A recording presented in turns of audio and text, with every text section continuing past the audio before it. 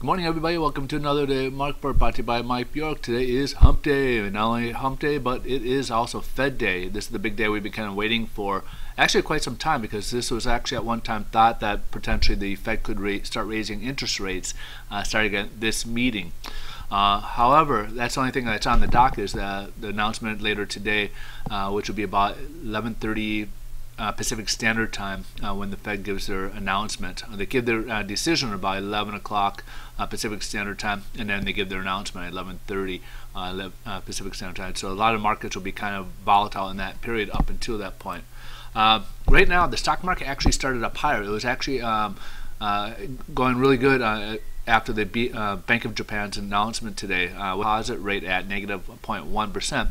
But what they did was they're going to try to keep uh, made a commitment saying that they're going to keep uh, try to keep their treasuries, 10-year uh, treasuries, at approximately. Um, Zero percent, and what that does is it creates a steeper curve, which uh, basically encourages uh, banks to lend more money out there to people, and which will hopefully stimulate the economy as well as uh, basically a almost a negative inflation part, uh, over there. They are trying to bump up that inflation quite a bit, and they're hoping this will help stimulate uh, the economy over there as well as bring up inflation. So they're getting raving reviews as a result of it. So stock markets around the world were going up.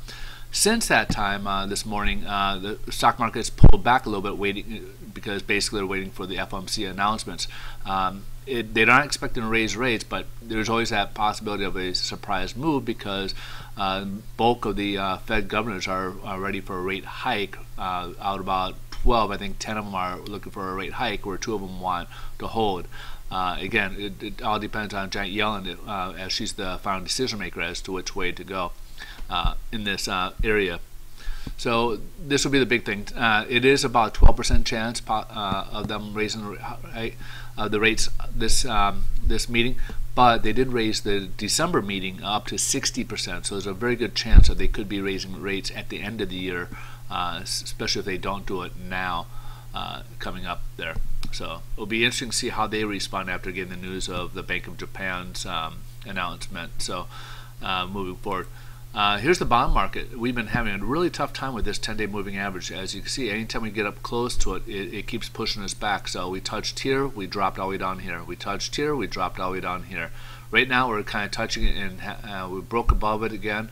Uh, but been right now, we're sitting right at that level right here.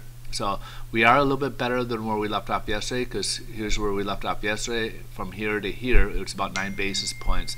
Um, right now, I wouldn't say there's a really big change. Um, right now, the markets are all kind of waiting for the possibility of a rate hike or a rate decision as to what the Fed's going to do. That's going to be basically the market mover as to if we go higher or lower or not. All right, so stay tuned. It's going to be very volatile. If you guys want to uh, get more updates throughout the day, uh, stay tuned to my Twitter account. I will be sending updates on Twitter at Mike Bjork on there. So uh, all right. Have a wonderful day. Thanks so much for watching. We'll see you guys tomorrow. Bye bye.